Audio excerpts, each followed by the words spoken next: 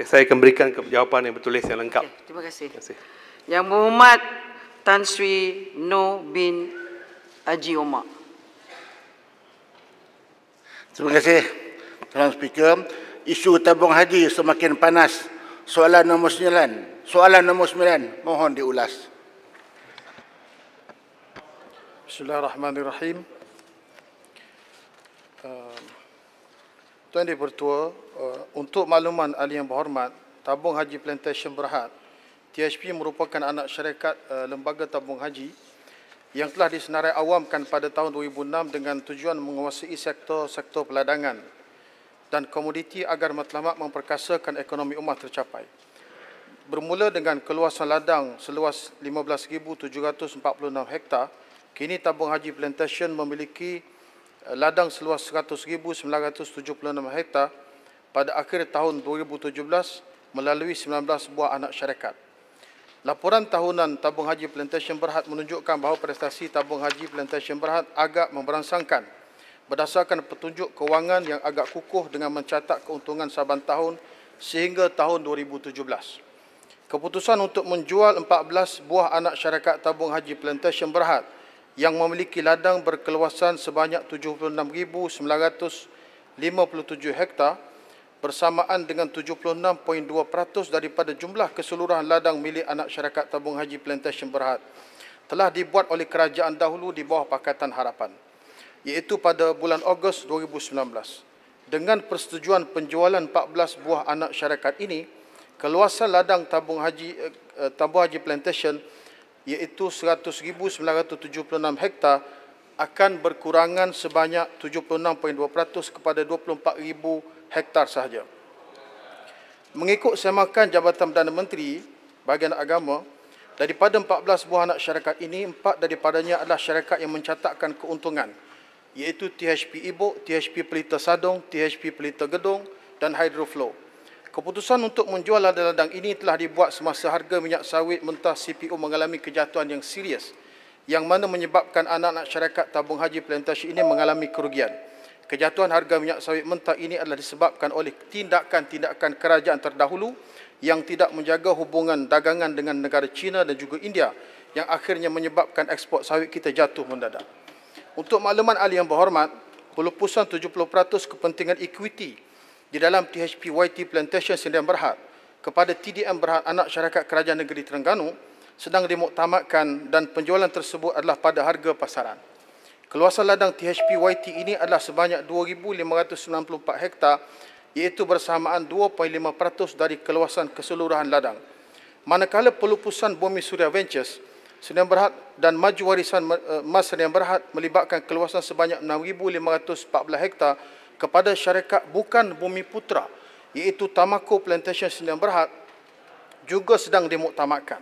Untuk makluman ahli yang berhormat juga syarikat Tamako Plantation Berhad ini dimiliki oleh bukan Bumi Putra yang diteraju oleh ahli lembaga pengarah seperti berikut.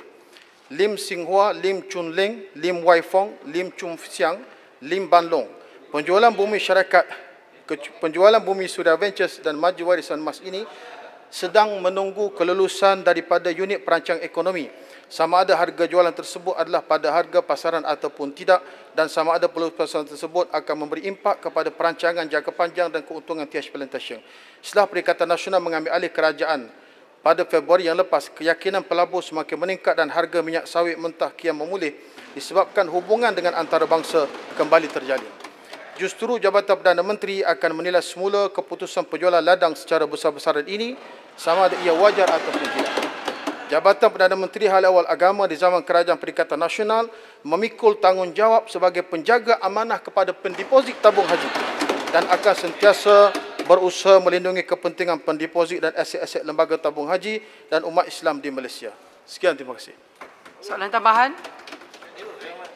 Terima kasih Perdana Menteri jawab begitu jelas dan kurang-kurangnya seiring apa yang Bading cakap semalam. Uh, saya pun terkejut kata ekonominya memberangsangkan tetapi aset dijual. Alasannya kerana harga kelapa sawit jatuh. Kalau macam itu mudah sangatlah dari kerajaan. Tak ada kata jual jual jual jual. Jadi saya nak saya satu saya nak tanya apakah benar bahawa penjualan aset-aset tabung haji plantation kepada Tamako ni me- mengikut harga pasaran ataupun tidak. Semalam Baling kata harganya patut mahal tapi dia jual dengan harga yang lebih murah kerana ada arah-arah tertentu. Ah, saya nak tahu tu. Tapi bila nama banyak lim-lim ni, Nasabil Lim Guan Eng ni mesti kawangan. Kalau tidak dia pun dalam syarikat tu. Terima kasih kepada soalan tambahan Tajung Karang. Uh, berkenaan dengan penjualan aset-aset tabung haji ini, uh, nilai oleh jurunilai CH William pada Disember 2018 adalah sebanyak 280 juta. Nilai oleh JPPH pada 20, April 2020 adalah berjumlah 224 juta. Sebelum diminta nilai semula oleh THP Plantation dan diturunkan kepada 198 juta. Harga jualan kepada Tamako ialah berjumlah 170 juta. Adalah lebih rendah daripada nilai JPPH dan juga juru nilai bebas. Berdasarkan pakej penjualan hutang eh, berdasarkan kepada pakej penjualan penjualan juga hutang BSV kepada THP Suria Mekar sebanyak 240 juta juga telah dihapus kira yang memberi manfaat besar kepada pembeli iaitu Tamako Plantation Sdn Berhad. Pada masa ini kelulusan terhadap penjualan syarikat-syarikat ini masih lagi di perangkat pertimbangan EPU bagi mendapatkan kebenaran kerana sebarang jualan kepada syarikat bukan Bumi Putra mesti diluluskan oleh pihak EPU dan masih lagi dalam pertimbangan kerajaan. Soalan tambahan kedua, Tuan Speaker. Parik Bentah. Yang Berhormat Parik Buntah.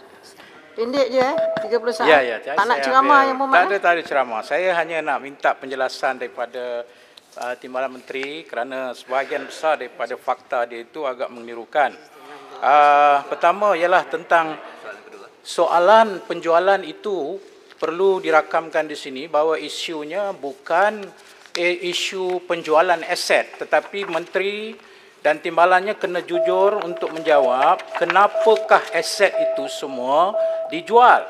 Saya ada uh, fakta menyatakan bahawa TH Plantation hutang dia membengkak 2018 1.24 uh, bilion 2019 1.29 bilion yang itu tidak disebut oleh menteri yang kedua aset tidak mendatangkan hasil sehingga menyebabkan pendapatan jatuh kepada 24%. Ini semua nanti dulu.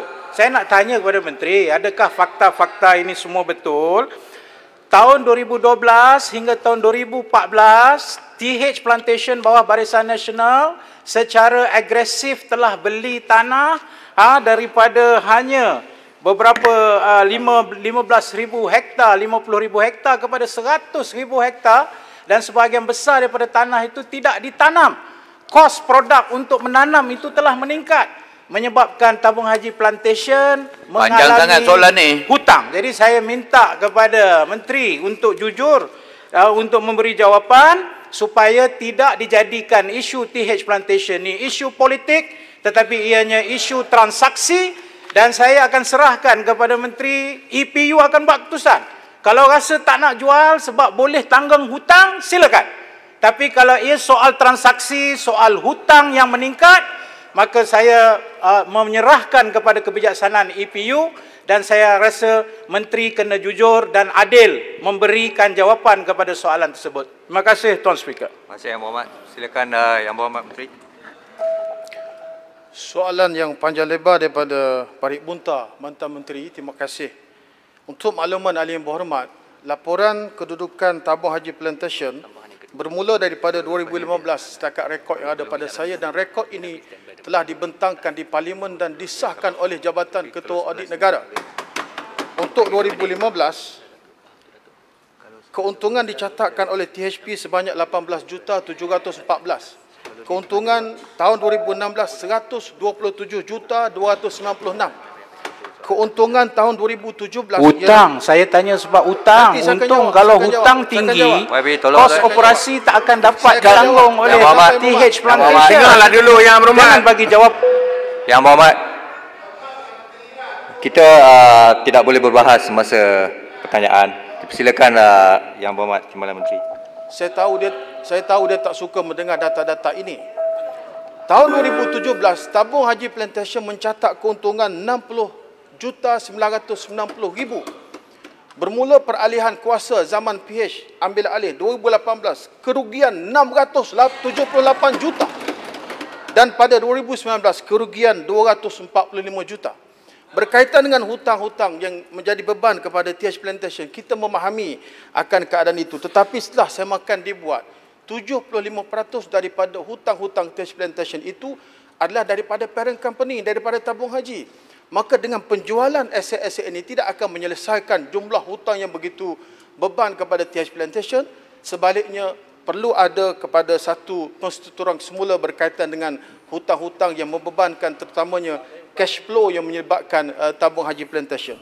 Adapun soalan yang berhormat yang berkaitan dengan ada unplanted area yang terlibat dengan 6,500 hektar yang nak dijual kepada bumi suria uh, uh, kepada Tamako itu, yang berhormat, penilaian membuat bahawa empat apa ni daripada jumlah unplanted area itu nilainya 4500 ringgit untuk satu hektar bersamaan dengan 2.5 hektar. Terlalu murah yang berhormat.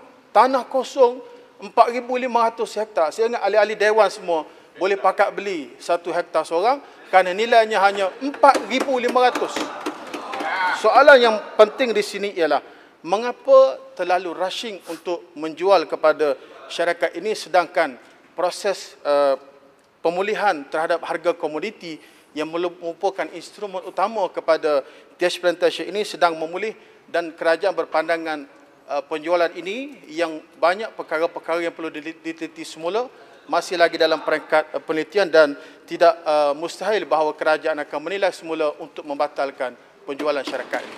Terima kasih Yang Minta. Yang Rakyat Berhormat. Sabah pun mau tahu. Ada juga. Maaf Yang tanah. Berhormat. Maaf uh, Ya, senang jam, jam telah tamat 11.30. Maaf. uh, Tak ada kita duit, tidak- boleh tambahlah sikit. Kita tidak boleh melangkaui uh, masa untuk uh, pertanyaan Yang Berhormat. Minta maaf. Ini